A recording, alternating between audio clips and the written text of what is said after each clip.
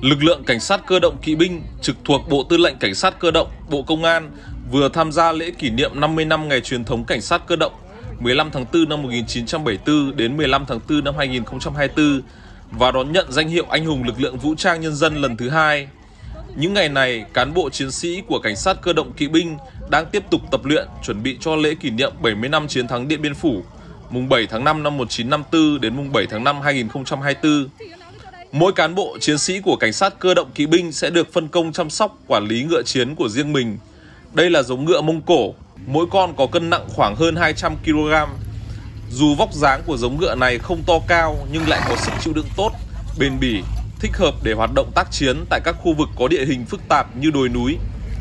Hiện nay, ngựa chiến của cảnh sát cơ động kỵ binh được trang bị bảo vệ chân, bảo vệ ngực, kính che mắt cùng nhiều phụ kiện khác.